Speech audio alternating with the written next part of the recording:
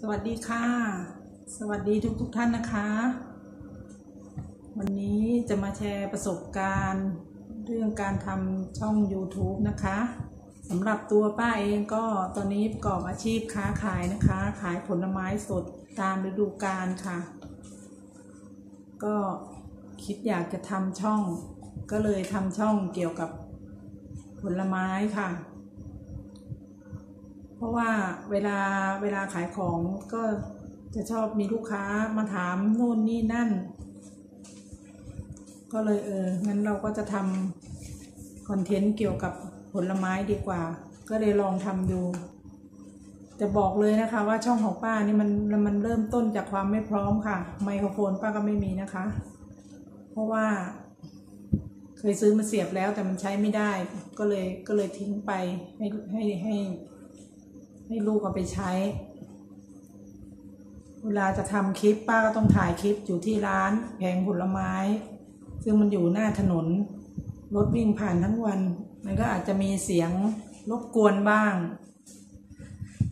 บางครั้งก็ตัดออกบางครั้งก็ไม่ได้ตัดออก ก็ทำค่ะทำไปเพราะว่าอยากทำแรกๆก็ไม่มีคนดูหรอกค่ะ ผู้ติดตามนี่เริ่มจากศูนย์จริง ๆ เพราะว่าไม่มีใครรู้จักเรา เปิดช่องมาครั้งแรกก็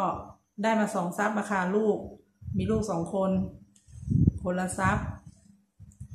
ต่อไปก็ญาติพี่น้อง เราเพราะว่าเออเขาสงสารเรา อยากเป็นกำลังใจให้เรา ก็ได้ซับเพิ่มขึ้นมาเรื่อยๆนะคะ ตอนแรกๆที่ยังไม่ถึงร้อยนี่ท้อมาก ท้อจริงๆเลยค่ะ เพราะว่าซับจะขึ้นช้ามาก แต่พอครบหนึ่งร้อยแล้วเนี่ยรู้สึกว่าเหมือนมันขึ้นเร็วมาก วันละสิบวันละสิบวันละสิบแต่มันก็อาจจะช้าสำหรับช่องใหญ่ ๆสำหรับบางคนที่เขาดังๆนะเนาะสำหรับเราไม่มี ไม่มีคนติดตาม ไม่มีใครรู้จัก เป็นแค่แม่ค้าขายของธรรมดาธรรมดาก็ขึ้นวันละ ห้าซับสิบซับนี่ก็แบบดีใจมากเลยค่ะ ดีใจแบบสุดๆเลย หลังจากที่ลงคลิปมาได้ ตอนนี้ก็ประมาณเจ็ดสิบกว่าคลิปอะเนาะหลังจากที่ลงมาได้ครบปี เดือนกันยายนที่ป้าเปิดช่อง ปี 2562 พอครบ เดือนกันยายนต้นต้นเดือนปี63ก็ครบปีพอดีก็ได้ผู้ติดตามมาครบ1,000คน แล้วก็ยอด4,000ชั่วโมง4,000ชั่วโมงป้า ป้าได้มาก่อน1,000คนนะคะ มีคนดูมากกว่าคนติดตามค่ะ ไม่เข้าใจเหมือนกันว่าเป็นเพราะอะไร คนดูแต่ไม่ซับพอผู้ติดตามครบ1,000 ซับสไคร b ์แล้วก็ยอดวิว 4,000 ชั่วโมง ก็ทาง Google เขาก็จะมีอีเมลมาแจ้งมามาบอกเราว่าเออของเราสามารถที่จะเปิดสร้างรายได้ได้แล้วนะ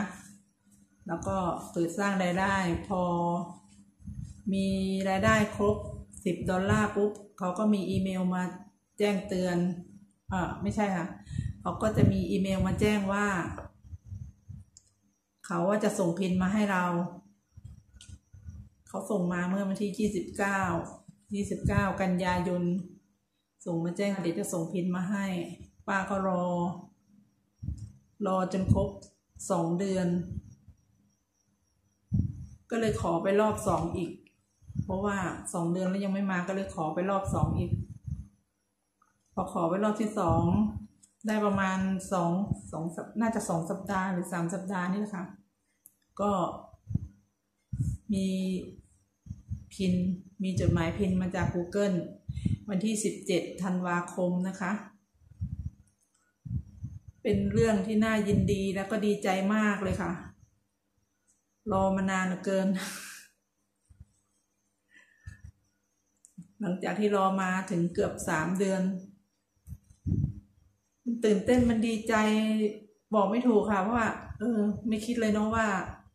เป็นแม่ค้าคนหนึ่งก็จะสามารถท